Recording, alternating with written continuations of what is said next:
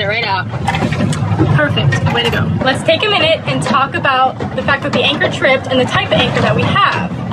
This is a grapple anchor, which is great for rocks. I even call it my rock anchor because I use it in rocks. And I'm gonna show you, it basically it tripped. So when it was in the water, before we dropped it over, it was not like this.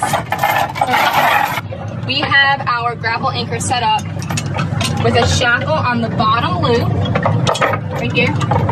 Perfect. And the chain is gonna come up the anchor.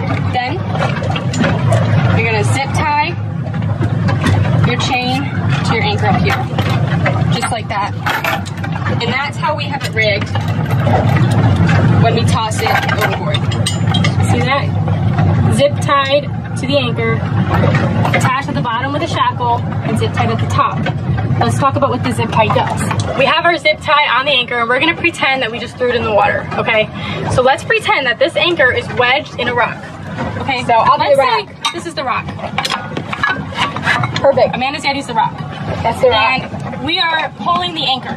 And we're pulling this way, this direction. Okay, guys? We're pulling this way in this direction. And let's say that that rock is so strong, we are not moving the anchor at all.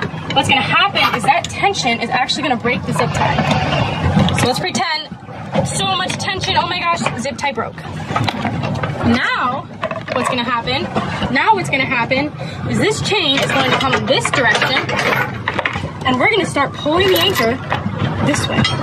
And just like that, your anchor tripped, it's up, it's out of the rock, and you're pulling it this way, out of the seafloor, not digging it deeper. That's why the trip method is really, really, really highly recommended, guys.